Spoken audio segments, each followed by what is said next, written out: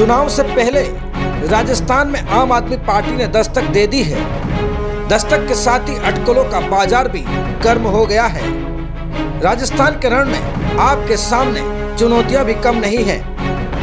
आपके पास अभी कोई बड़ा नाम नहीं है।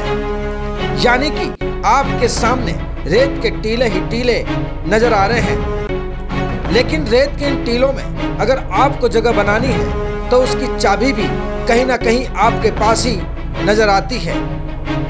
बस देखना यह होगा कि आम आदमी पार्टी इसका इस्तेमाल कैसे कर सकती है और कैसे मरुधरा में एंट्री लेगी, कैसे राजस्थान की तरफ़ दरवाजे खुलेंगे और कहाँ है इसकी चाबी।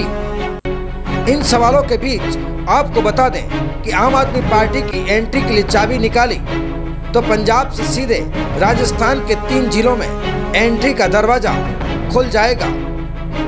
और वो ज़िले हैं हनुमानगढ़, श्री गंगानगर और बीकानेर। और इन जिलों में एंट्री के लिए चाबी है इंदिरा गांधी नहर।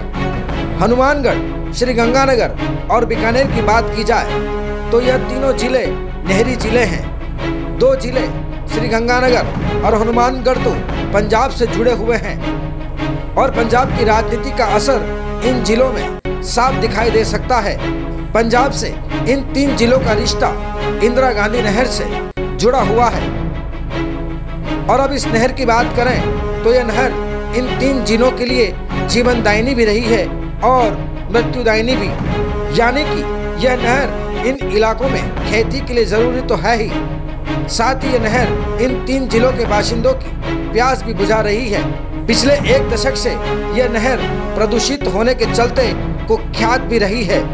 इंदिरा गांधी नहर की गूंज राजस्थान विधानसभा के मंदिर में सुनाई दी। और पड़ोसी राज्य पंजाब की फैक्ट्रियों का गंदा पानी इंदिरा गांधी नहर में छोड़े जाने का मामला एक बार फिर उठा। विधायक राजकुमार गोड की ओर से पूछे गए सवाल पर जल संसाधन मंत्री महेंद्रजीत सिंह मालविया ने कहा कि इंदिरा गांधी नहर में पंजाब की ओर से गंदा और जहरीला पानी छोड़ा जाना पूरे राज्य के लिए चिंता का विषय है।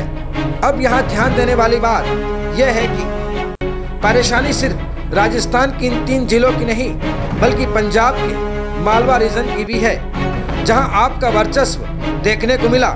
नहर की सफ़ाई का मुद्दा पहले भी उठता रहा है और अब राजनीतिक जानकारों का मानना है कि पंजाब में आप सरकार ने इस मुद्दे को सुलझा दिया तो राजस्थान में इसका असर साफ़ दिखाई देगा।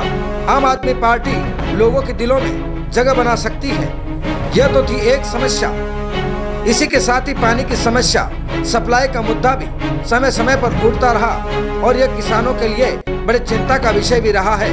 बता दें कि इंदिरा गांधी नहर का अंतिम छोर जैसलमेर तक है, यानी कि कुल मिलाकर 10 ज़िले। अब अगर इंदिरा गांधी नहर में पानी पूरा और समय पर मिला तो आम आदमी पार्टी 10 जिलों को एक साथ साध सकती है। यानी कि एक तीर और निशाने पर 10 ज़िले। तो देखना होगा कि सालों से चली आ रही इस समस्या से आम आदमी पार्टी कैसे निपटती है। संवाददाता नरेश सोनी के साथ ब्यूरो रिपोर्ट, न्यूज़ 20 इंडिया।